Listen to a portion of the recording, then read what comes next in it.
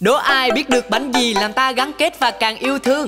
Làm cho ta tràn năng lượng và thêm dinh dưỡng mỗi khi ăn vào. Ê, gợi ý là bánh có năm vị, năm vị. Bánh có hình vòng ngon mê ly. Sô-cô-la trắng, đen, cam cùng kem phô mai và kem. Yo, bánh là bánh mà có hình vòng Thơm thơm ngon tới năm vị. Nghe là thấy độc nhất vô nhị. Chỉ có thể là bánh đu quỵt. Đu quỵt, đu quỵt donut. Đu quỵt, đu quỵt donut. Đu quỵt, đu quỵt donut. Đu quỵt, đu quỵt donut. Lấy ra cái bánh đu Ăn nhiều hơn nữa đi Đoán xem, đoán xem nào Đây là mùi hương gì? Uhm. Bắt đầu nhắm mắt nè Ăn mình cùng ăn thả ga Đoán xem, đoán xem nào Dâu cam hay sô cô la Đu quỵt, đu quỵt donut. Ta vui ta thêm gắn kết. Đu quỵt, đu quỵt donut. Nhà mình ngập tràn với năng lượng. Đu quỵt, đu quỵt donut. Ta vui ta thêm gắn kết. Đu quỵt, đu quỵt donut. Nhà mình ngập tràn với yêu thương. Yeah yeah